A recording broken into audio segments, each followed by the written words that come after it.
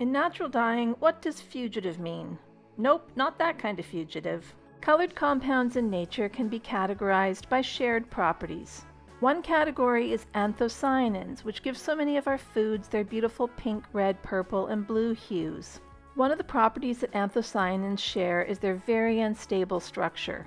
Almost anything can degrade the molecules, even just looking at them funny. And as they degrade, they lose their beautiful color and turn brown.